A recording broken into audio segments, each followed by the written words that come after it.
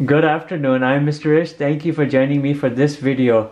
In this video, we have to do a very good demonstration, a verification procedure. You might want to loosely use the word proof. We have to use calculus, meaning particularly differential calculus by both explicit and implicit differentiation techniques to prove the following case that if you were to connect a segment from the center to any point on the circle, that segment of course would be your radius.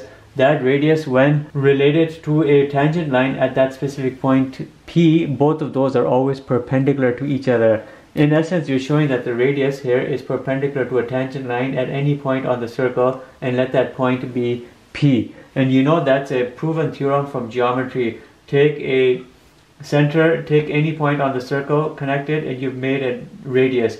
Draw a tangent line at that specific point, and then the radius and that tangent line are always perpendicular. We have to use differential calculus to prove that to be the case. And prove it, verify it, or show it to be the case. We're using the word proof here loosely, so keep that in mind. So our case is not very easy, but I would say it's not very difficult. We know if you have two lines and each line has a specific slope, we know by means of the relationship between perpendicular lines, the slope of one is always equal to the negative reciprocal of the other. M1 would be equal to, in terms of the relationship, minus 1 over M2, or you can say it in a better way, M1 times M2 would equal minus 1. And that's the relationship we need to prove that the slope of the radius and the slope of the tangent line will give you a minus 1. That is, they would be negative reciprocal of one another utilizing explicit and implicit differentiation. So the question is here before us. Let's create space. To proceed, start with the equation of a unit circle x squared plus y squared equals r squared. The famous equation of a unit circle. Do the implicit differentiation of it. And You know how to do implicit differentiation. It's not hard by any means. You'll have 2x plus 2y and then you know dy or dx would come from right here is equal to 0. You know you do d or dy, y squared dy or dx and you'd solve for dy over dx. You'd get 2y dy over dx is equal to minus 2x and then dy over dx is equal to minus 2x divided by 2y which is minus x over y. And now we've gotten our implicit differentiation factor which I'll write id minus x over y. We have this and we'll put it aside. If you look at this unit circle equation, it's not a function because it doesn't pass the vertical line test. If you solve it for y, you get y is equal to r squared minus x squared root.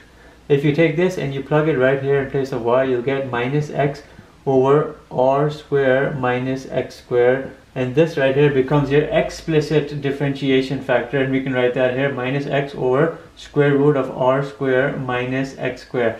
Now we've gotten our factors for implicit and explicit differentiation by means of the procedure I've put before you. To proceed further, draw a unit circle. We have a specific center C, we have a specific point, let that be P. We can connect a radius to here and you know that's the good radius and we can bring it down here by means of your vertical line and adjust it across we have a right triangle which has a certain dimension x, y and r. You know there's a certain angle which forms in here that angle is theta. You could very well get, get the values of this points x comma y for p using trigonometry. Cosine theta, this angle theta is equal to x over r sine theta is equal to y over r. Solve in each case for x and y. x is equal to r cosine theta. y is equal to r sine theta.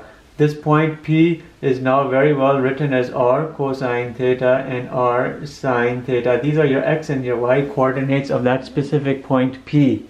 If you look at the segment CP, our segment CP very well represents the radius and I'm writing it there. It has the following points that it goes through 0 comma 0 the origin and this point p which is r cosine theta and r sine theta. These are the points that it goes through. If you utilize the formula for slope y2 minus y1 divided by x2 minus x1 you have the values right there. You'll have r sine theta divided by r cosine theta and you'll figure all of this out cancel things out and you'll get a tangent theta order as being the slope of cp. The segment cp the radius is tan theta. Let the slope m1 being the slope of your radius and I will put a little parentheses r be here exactly what you've determined tan theta. We need to now determine m2 which is the slope of a tangent line. The tangent line will form right here tangent to the circle at point P. We now have to find that slope.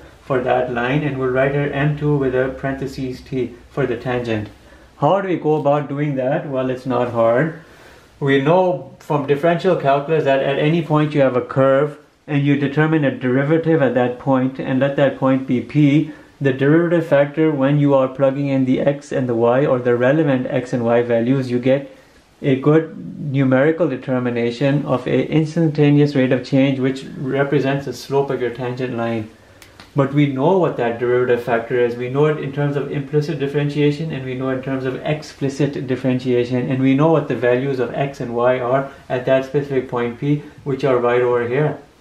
Using the explicit differentiation route we can do looking here at this equation right here we have minus x divided by square root of r square minus x square. You just have to plug in the x or the y value relevant to that specific point p and the values are right here x and the y.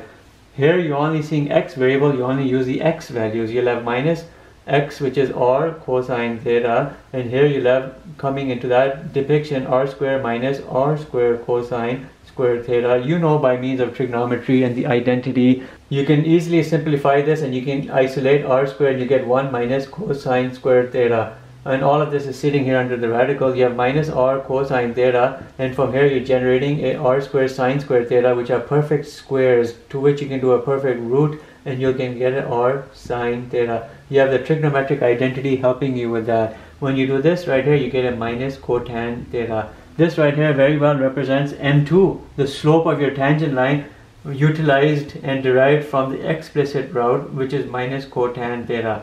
Now the explicit differentiation route is more difficult and longer simply because there's more involved in it.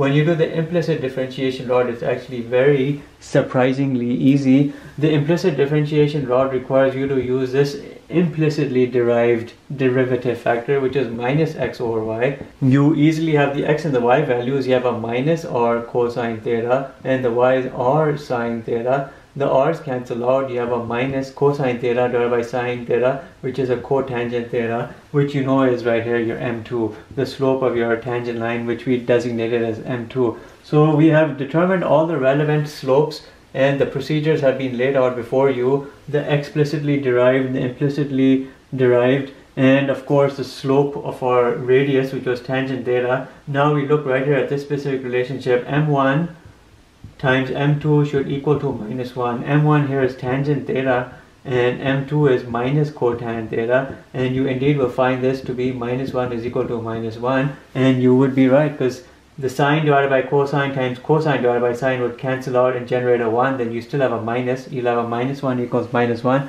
and our verification procedure is good and we are done. This proof has been completed. So by all instances and by all means if you have a circle with a certain center you draw a line from that center to any point on your circle and that will be your radius you can call this point P. If you draw a tangent line at this point P, the tangent line and that radius must always be perpendicular to each other. And here we've used differential calculus to prove that to be the case.